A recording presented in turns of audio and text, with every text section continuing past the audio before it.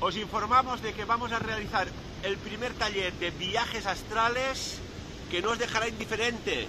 Joan, ¿por qué es importante el viaje astral? Bueno, va a ser el curso más apoteósico de todos. Será después del Congreso Sapiens. Cómo salir del cuerpo es un gran misterio que en el mundo espiritual mucha gente quiere aprender.